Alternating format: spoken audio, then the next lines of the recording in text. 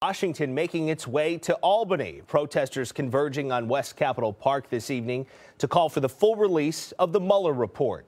The demonstration organized by the progressive group Move On claims Attorney General William Barr should not redact any information from the final report and the four-page summary of Mueller's findings that's already been released so far is simply not enough.